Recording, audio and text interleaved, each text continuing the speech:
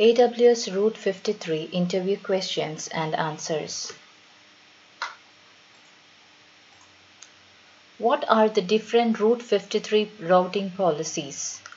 Simple policy, simple DNS response providing the IP address associated with a name. Failover policy, if primary is down, routes to secondary destination. Geolocation, uses geographic location you are in to route you to the closest region. Geoproximity routes you to the closest region within a geographic area. Latency policy directs you based on the lowest latency route to resources. Multi-value answer returns several IP addresses and functions as a basic load balancer. Weighted policy uses the relative weights assigned to resources to determine which to route to. The different Route 53 routing policies are simple, failover, geolocation, geoproximity, latency, multi-value answer, weighted policy. Why AWS named the DNS service as Route 53? Route is for routing, which is the purpose of DNS and default port for DNS is 53. Difference between Route 53 aliases and CNAME. CNAME doesn't support naked domain names whereas aliases support naked domain names.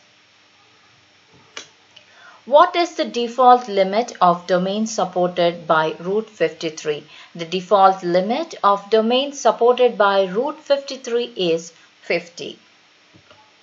Name some of the AWS services that are not region specific.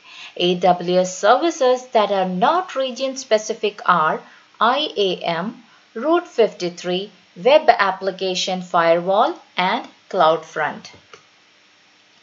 What is the difference between a domain and a hosted zone? Domain is a collection of data describing a self-contained administrative and technical unit. Hosted zone is a container that holds information about how you want to route traffic on the internet for a specific domain. Does Amazon Route 53 offer a service level agreement?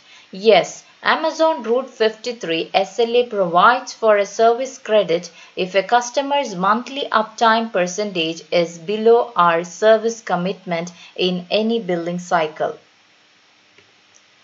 What are the DNS server names for the Amazon Route 53 service? Each Amazon 50, Route 53 hosted zone is served by its own set of virtual DNS servers to provide you with a highly available service. The DNS server names for every hosted zone are thus assigned by the system when that hosted zone is made. Is there a limit to the number of hosted zones I can manage using Amazon Route 53? Each Amazon Route 53 account is restricted to a maximum of 500 hosted zones and 10,000 resource records sets per hosted zone. Can I use the same private Route 53 hosted zone for multiple VPCs? Yes, you will associate multiple VPCs with one hosted zone.